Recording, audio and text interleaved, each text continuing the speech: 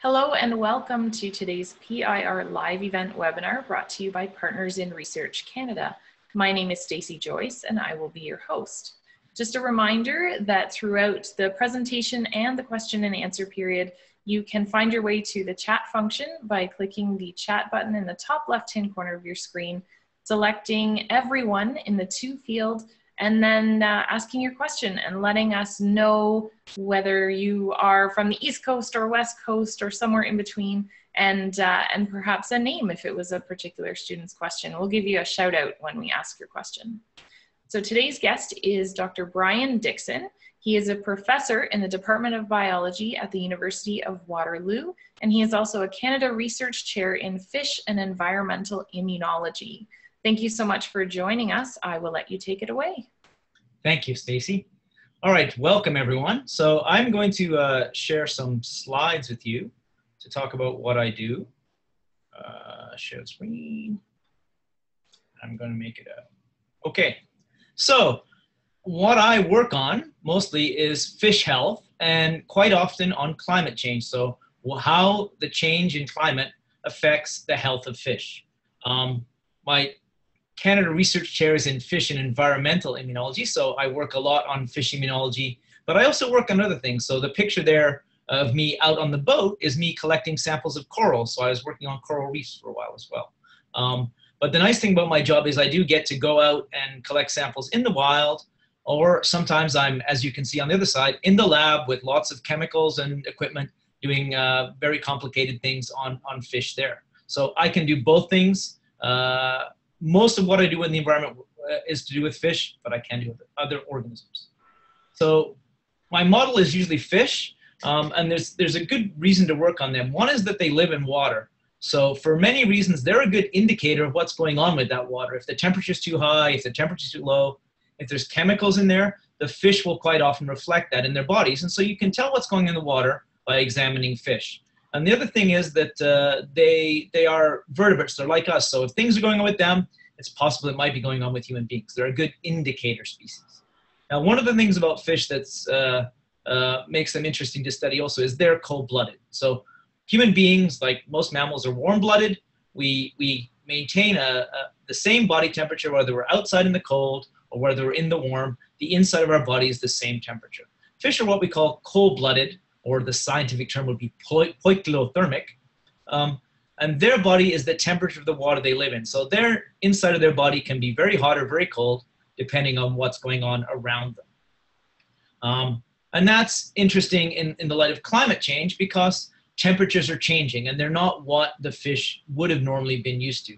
This is a picture from actually last December um, where it shows the globe and the areas in red and the, the darker or the brighter the red is, uh, how much hotter the, that place is than it should be, and the blue to purple is how much colder that place is than it should be normally at this time of year. And the interesting there, thing there is if you look at northern Canada, it's part of the Arctic, it's very, very hot. The Arctic, where our fish live in northern Canada, is going to be a place that's impacted a lot. But what's also interesting is if you look at the coast of British Columbia, so over here, or Labrador and Newfoundland, there are places that are much colder as well. So climate change is not necessarily that it's going to be hotter all the time. You're going to experience uh, extremes of heat and cold. It's going to go up and down. And that has an effect on, on fish at both ends of the temperature range. So it, it's going to affect lots of features. Um, I work on fish health, and that's generally what we call immunity or immune systems. So basically, immune systems are mechanisms that in your body that pre prevent infection basically they keep out things that don't belong to you, bacteria, viruses. As long as it's not you, this mechanism gets rid of them. So uh, this kind of uh, system is present in every animal and plant, and it can be as simple as skin. Right? Skin is something that keeps stuff out, or it can be complicated, like things like antibodies, as you can see on the screen. Antibodies are uh, proteins you produce to bind to and fight off things that get inside your body. Now, the nice thing about fish is they have pretty much the same immune system that we have. So they make antibodies and they have all of the mechanisms to make those antibodies and make them work. So that's why they're a good example of what might happen in human beings because they have the same system um, so trying to relate these two things, the, the, the, climate change, the change in temperature of the water and, and, and the immune system, uh, is an interesting thing. For humans, it's not that much of a problem. Remember, we're the same temperature. Inconceivable! Sorry, same temperature.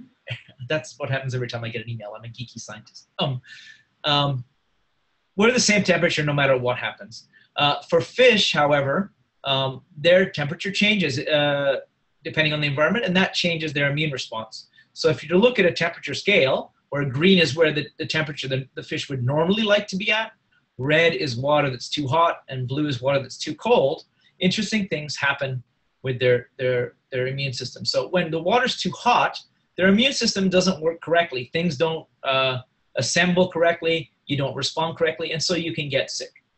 In the sort of Goldilocks zone where things are just right, everything works properly.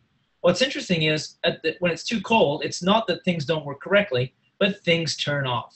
And that's probably because the fish are um, doing something kind of like a hibernation. They don't eat when they're, they're at low temperatures. They don't have much energy, so they try and save energy by turning things off. Like we turn off lights, they turn off parts of, of their body. And then the immune system is one that takes lots of energy, so it's one that they turn off quite frequently. Um, the interesting thing about fish also is depending on the fish you're working at, they have different normal temperature ranges. So I showed you the temperatures increasing a lot in the Arctic, but I work on a fish called Arctic char that lives way up there. And some of those fish, um, the lakes they live in only thaw for like two months a year. So they're used to temperatures about two degrees Celsius. And once you get above 10, it gets too hot for them. Whereas a rainbow trout, a type of fish we have in Ontario, um, two degrees is cold for them. And, uh, you know, they can live up to like 20 degrees Celsius. Once you get to 25, it's too hot. So depending on where the fish live, they're adapted or they're used to different temperature ranges. And these problems will happen at different points.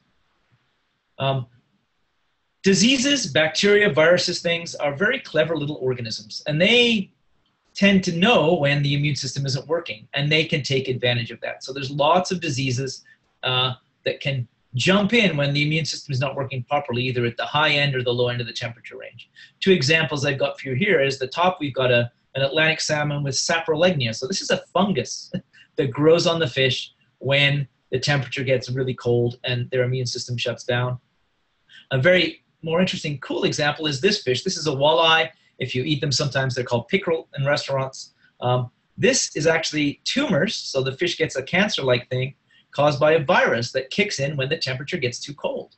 Uh, but when the, the, the water warms up, the immune system kicks back in and these tumors drop off. So it's a very interesting model where they get sick at low temperatures, but it causes tumors. So, uh, and these are the kind of things that I can use to, to study what's happening with the immune system. I can use diseases as a model. So why do we care about this? Well, it, it works for wild fish. Uh, Canada has a lot of wild fish. We have a lot of uh, important fisheries for sport fishery. We have a lot of important uh, fisheries for commercial fishery. Wild fish tend to not experience the same kind of problems as the other type of fish I'm going to talk about because they're free to move and they can move to find the right right temperature. So if they're cold where they are, they'll swim to a part of a lake or a, a stream where it's warmer. However, if they're in a small lake or if the it's too shallow, they can't avoid those extreme temperatures. They get too hot uh, or they get too cold. Uh, too hot is uh, more of a problem because things don't work very well then and uh, they will die much more quickly if they're in too, too hot a temperature than they will if they're in cold temperature. Cold, they're used to because they're used to overwintering. So quite often there's fish that live uh, under the water, uh, in the water underneath the ice that's frozen in the lake. Um, but again, they they tend to hibernate. So they don't eat, they don't uh, do much, they don't move around, and they don't have much energy. So they're going to shut off their immune system, and that's a time when they're vulnerable to diseases as well. So Canada has lots of fish, and it's important that we take care of our wild fish for fisheries and to, to maintain the environment. The other aspect I work on a lot is aquaculture. This, so this is a fish farm that I work in on the coast of BC where they grow Chinook salmon.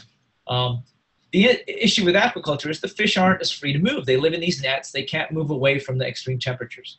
And if you get a spike in high or low temperature, it can cause disease in the, the fish. And then that's very costly because the farmers can't sell the fish and they lose money. So it's it's an important problem to solve for them, how to get fish that are better adapted to living at high and low temperatures and not get sick. So what do I do mostly? Well, one of the things is in the lab, I can figure out how the fish immune system works. And uh, I can do that by changing the temperature. I can keep fish at high and low temperatures. I can also uh, inject them with things that look like bacteria and viruses but don't kill them, and I can see how they respond to that. And there's many measures I can use. Um, one of them can be as simple as giving them a disease and seeing if they live or die, uh, or I can look at antibody production or some of the other proteins that are involved in the immune system. The interesting thing is I can work with fish. So here you see some small Chinook salmon that I can work with. I can work with bigger fish as well. But also sometimes because we don't want to use fish unnecessarily. We're trying to, to not be uh, too cruel to animals. We can take some of the cells out of the fish, the smallest part of your body, and grow them in a flask. And you can see some fish cells here. And I can do experiments with those cells to see how they work. Apologies again. I will shut that down when I'm done sharing. Um, and I can do both parts of it. I can work on little bits of fish or I can work on whole fish. What do I do in the field? Well, sometimes I'm working on the fish farm. So you can see here, the fish are kept in the net. Sometimes we have to do our experiments right there. So I'll set up a table and I'll start doing experiments here uh, on the on the uh, on the side of the net. Sometimes I go to bigger fish farms. Oh, I'm sorry, did I just stop sharing? Um, sometimes I go to bigger fish farms. So below you can see I'm visiting a fish farm in Chile where they produce uh, about 14 million Atlantic salmon a year. And they take their diseases very seriously. So you basically have to clean up and dress up in a plastic suit to go see the fish. Um, I can also be out collecting fish in the wild. So this is fish that we go out and we collect in the wild uh, that we catch, and that's a much bigger Chinook salmon. And I can collect fish and get samples from them there. I'm working very hard now. One of the cool things I want to do is to be able to just take a drop of blood from those wild fish and uh, use that for my analysis without hurting the fish at all. So um, that's basically what I can do. I can be anywhere in the world, Australia, Chile, BC coast, or I can be my lab in London. And thank you, and I'm happy to take questions and let me shut down my email. Thank you so much. I, uh, I have been learning, looking at your slides, a lot about uh, fish and climate change, and I have been having the odd vision of the Princess Bride in the middle. but uh, I certainly would like to get to some questions. You mentioned that uh, fish immune systems are similar to humans. Are there any main differences you could highlight?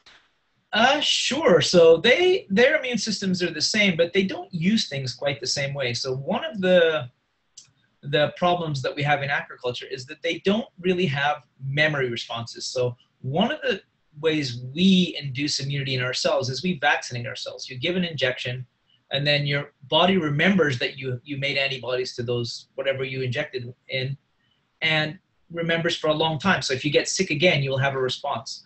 With fish, they don't tend to remember. So you can inject them and they'll have an immune response for like six months to a year afterwards. But several years later, they will not remember they saw that. So it's harder to get uh, uh, them to respond again. So vaccination doesn't work quite as well in fish. And it's something that we, we have to figure out whether we want to boost them uh, more often. Uh, the thing is, injecting them stressful as well. So you've got to find the balance between injecting them and, and, and, and dealing with their lack of memory. So that's one critical difference. Interesting.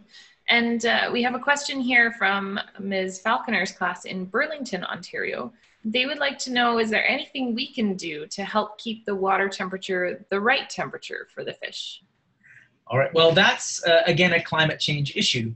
So the problem is that we're human beings, or part of the problem is human beings are emitting chemicals that uh, uh produce CO2 that's in the environment. That helps keep the heat like a blanket in, in, on the planet and it heats up the water and the air. If we could reduce our use of those chemicals, we could limit the amount of carbon dioxide and stop the increase in temperature. Um, so that modulating the temperature of the water is a difficult thing because it's a global scale thing and we have to all deal with it. Right. And um, a commonly asked question of, um, you know, the idea of free range farming versus the alternative and is is aquaculture produced fish any better or worse to eat than um, you know the traditional fishing methods?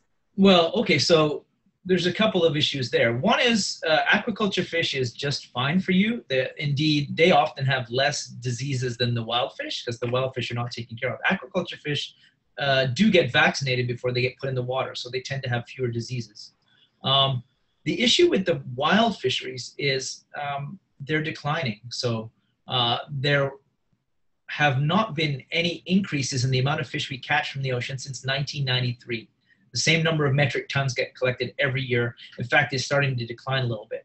So while aquaculture has its problems in that you've got intense amounts of fish in one area, uh, the wild fisheries have problems in that, that we're, we're taking the fish out of the ocean and not replacing them.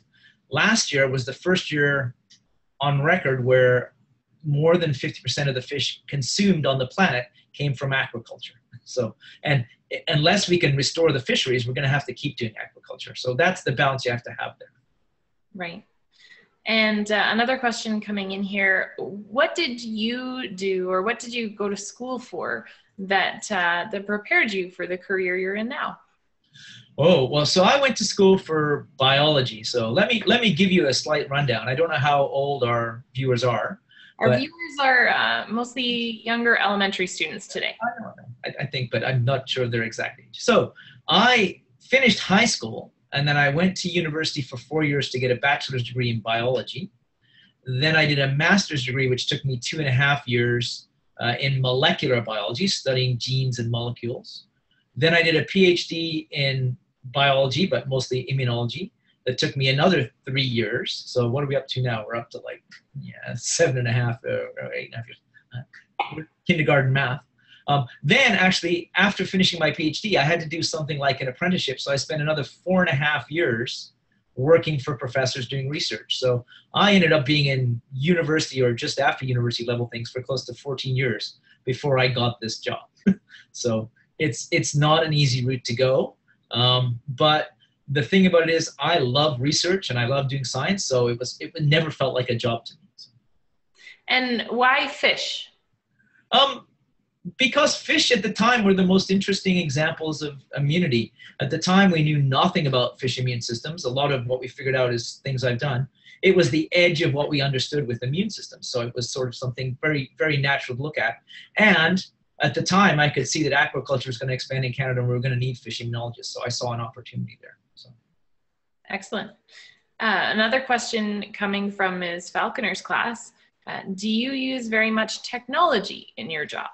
Yes, so I use a lot of technology, and it um, it can be very low tech things that I do. So the example I showed you where I was collecting uh, from the coral reef, I just had a net and I was collecting things in the bottom of the net. That was very simple. When we get to the lab, we have very complicated things.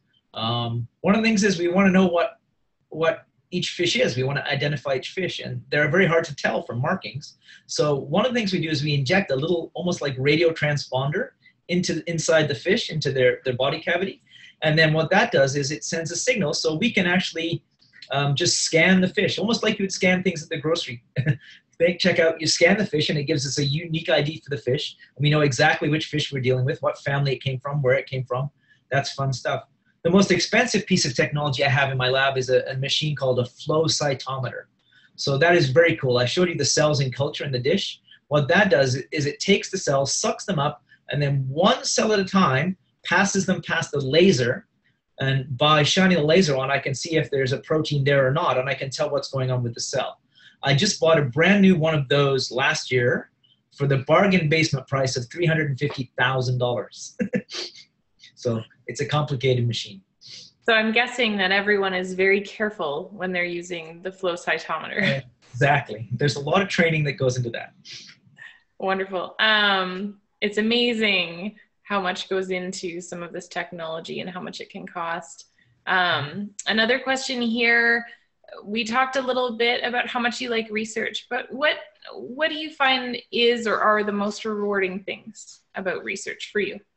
Well, so the, one of the most rewarding things uh, is finding something that no one's ever discovered before. So during my PhD, and I still remember this very clearly, it was nearly 30 years ago, I found um, uh, a protein in fish that had, no one had ever found in fish before. It was only known in humans. And I found it because I love research on a Sunday afternoon. and I remember phoning my boss, my supervisor at home, and being all excited about finding this thing that no one had ever found before. So quite often you get to discover things that, that no one under, understands or has seen. And, and it's such an exciting feeling to be like out there on the, on the, the, the frontier. And on the the other side of the coin, what do you find to be the most challenging about research? Uh, these days, it's finding money to do the research. I explained that I spent $350,000 on one machine. Um, the process for getting the money to do research is complicated. The university doesn't give me any money to do it. I have to find it myself, and quite often I have to apply to the government uh, for them to give me money. But because it's industrial based, I also have to talk to companies. So I talk to the aquaculture companies, I talk to the fish vaccine companies, and I have to coordinate all these people and get them together, come up with an idea, explain how it can help the company, write the grant, and, and you know, so I'm just starting to work on a project now. Again, working on high temperature and fish uh, on the East Coast, but it took me two years to put that together. so two years of paperwork to start doing the research. That's the challenging part. The strange ways that you earn the money that comes into the lab. Exactly. Um, back to some more questions about uh, about the science and climate change. Um, we've talked about how the temperature in the water being changed by climate change uh, is affecting fish health and their immune systems. Um, humans have a slightly different immune system and our environment is different, but do you see a parallel at all in how climate change will affect people? Um, yeah, there are some parallels. So one of the things about diseases is they tend to live in places that are optimal for their temperature and their environment. And one of the things that we're going to see, I think, as climate change happens, as the average temperature where we live increases, diseases that are common in, in, southern or warmer climates might move into where we live. So we might see a change in the profile of diseases that humans experience.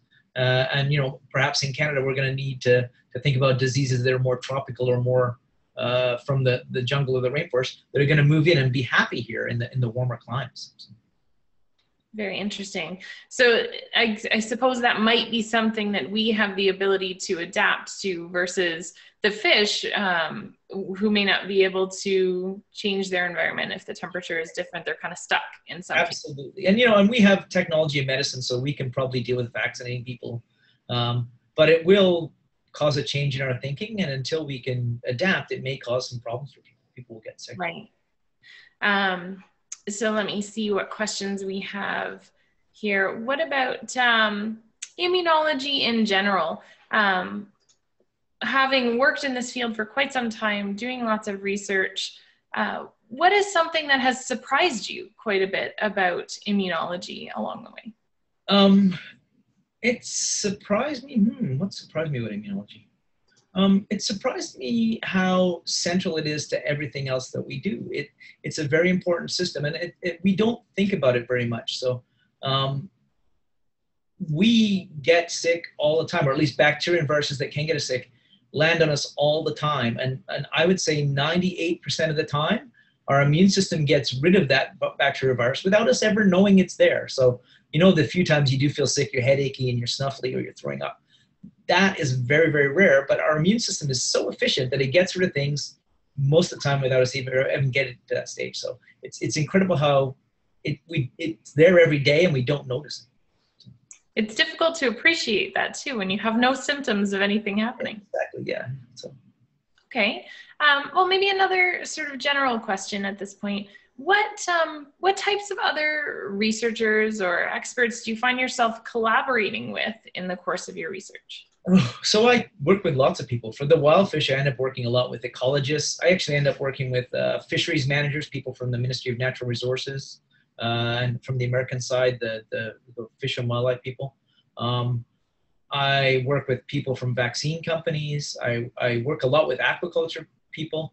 Um, I work with veterinarians because they're often involved in the, the fish farms.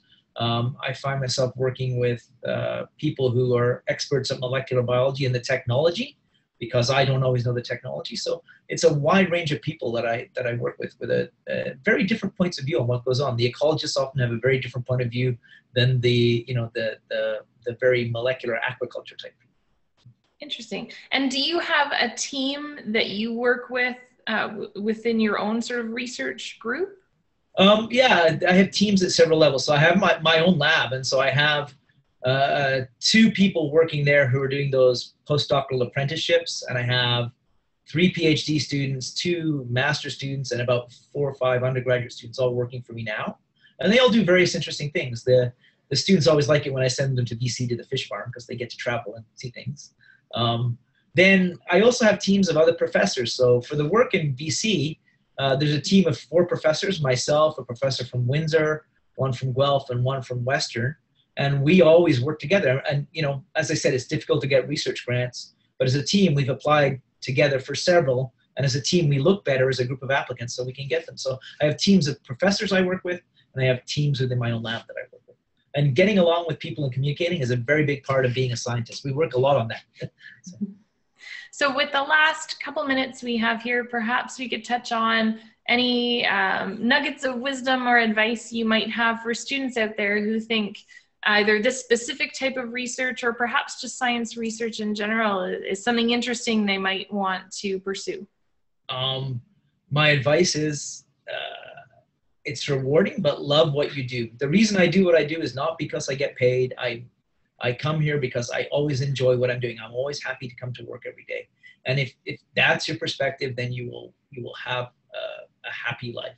It, it it's rewarding to do something and not feel like you have to do it, but to, to make a living at it, it's awesome. there you go. Fabulous advice, as one of our teachers in the chat there. So um, that is all the time we have today. Thank you so much, Dr. Dixon, for joining us and answering our questions about fish health, aquaculture, immunology, climate change. We talked about a lot of topics today, and thank you for sharing your expertise. Thank you.